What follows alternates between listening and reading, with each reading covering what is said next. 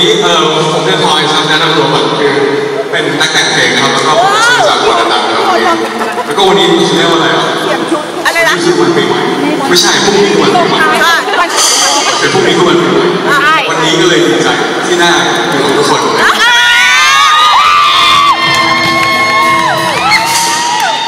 เดี๋ยวเดี๋ยวเดี๋ยวไปดูเรื่องโอเคก็เดี๋ยววันนี้ผมจะมาเล่นเพลงที่ผมแต่งแต่งไว้เขียนเขียนไว้ให้ให้ ทุกคนได้ลองฟังนะครับเ